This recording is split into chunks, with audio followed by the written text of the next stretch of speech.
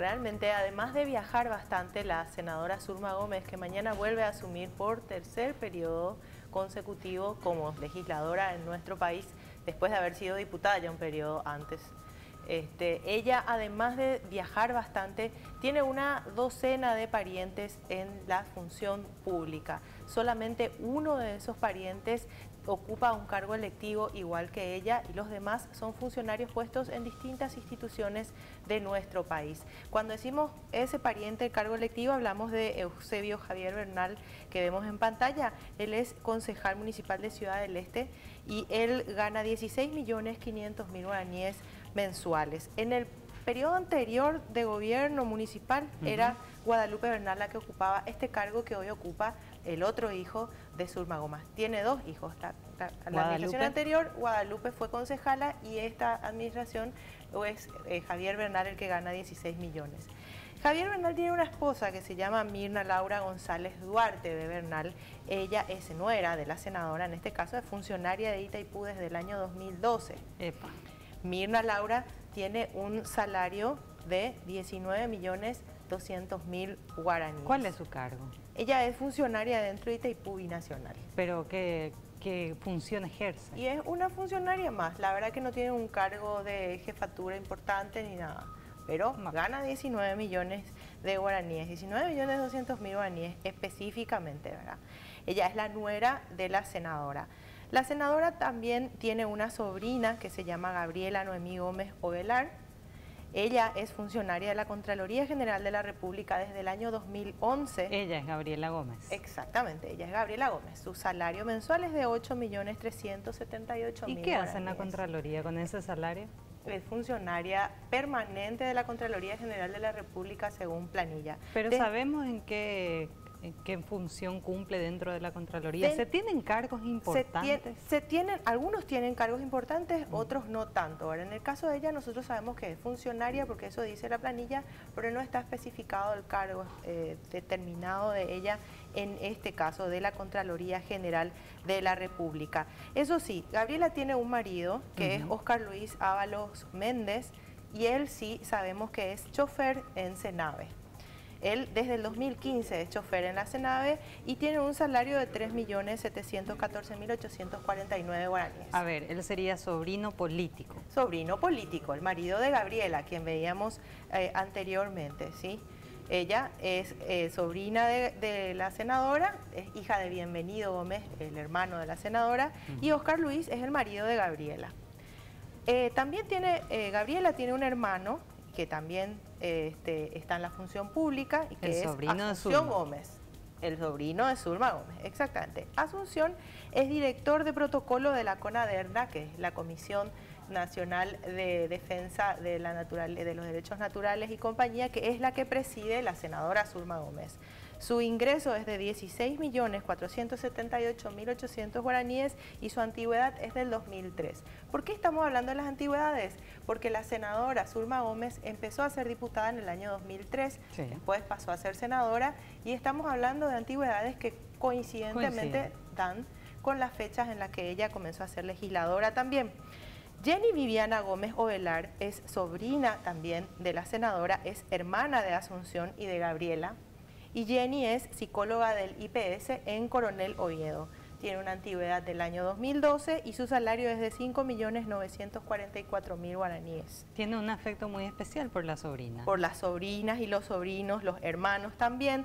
Justamente, este, Víctor Manuel Gómez Ovelar es otro sobrino de, de la senadora, es hermano de Jenny, de Gabriela y de Asunción y él es ingeniero agrónomo, pero trabaja o tiene un salario por lo menos de asistente en el Senado desde el año 2004. Tiene un ingreso de 13 millones y medio de guaraníes como asistente en el Senado. No, sabe, no, no, no señala la planilla asistente de qué dependencia es. Héctor Ismael Gómez Cáceres es el hermano menor de Zulma Gómez. Lo vemos en pantalla, él es médico cirujano del IPS en Hernandarias desde el año 2009. Su salario es de 6.895.000 guaraníes. Y Héctor tiene una esposa, sería la cuñada de la senadora, Lilian Beatriz Álvarez Benítez. Ella es odontóloga, pero en la planilla del Ministerio de Educación figura como docente de la Escuela 1523 Juana María de Lara de Ciudad del Este y como tal, según esta planilla, tiene un salario de profesora de primero y segundo ciclos de 2.327.000 guaraníes. ¿De dónde es docente ella? De la Escuela 1523 Juana María de Lara de Ciudad del Este. De Ciudad del Este. Vos me decías que su esposo es... Eh, Héctor Ismael Gómez. Y está en IPS de Hernandarias. Y ella en una escuela de Ciudad del, este. este. Hay que ver cómo hacen para ir a los trabajos. Y sí, además ella, ella es odontóloga de profesión, según pudimos también constatar en las redes, pero sin embargo figura como docente de primero y segundo ciclo la, en la escuela. ¿Pudieron hablar ustedes con la escuela para saber si ella realmente está enseñando en ese lugar? No, no pudimos contactar con la escuela, pero sí figura ella en la planilla del ministerio con, este, con este rubro. Porque si no fuese el caso, estaría usurpando un rubro... Sí, Necesario para la educación. Necesario para la educación. un caso similar se da también con el sobrino de Zulma Gómez que está en el Senado que te decía que es ingeniero agrónomo, Víctor Manuel Gómez, porque en ese caso todas las fotografías que vimos de su red social, todo su entorno se da mucho en Coronel Oviedo, pero él es asistente en el Senado en Asunción. Pero se lo ve frecuentando en Coronel Oviedo. Exactamente, en Coronel Oviedo más que nada. Y Olga Elisa eh, Coronel Duarte es cuñada de Zulma Gómez y es funcionaria de la justicia electoral desde el año 2012. En la justicia electoral ella tiene un ingreso de 8.360.000 guaraníes. Decíamos que es cuñada de la senadora porque es pareja del hermano de la senadora Miguel Ángel Gómez Cáceres.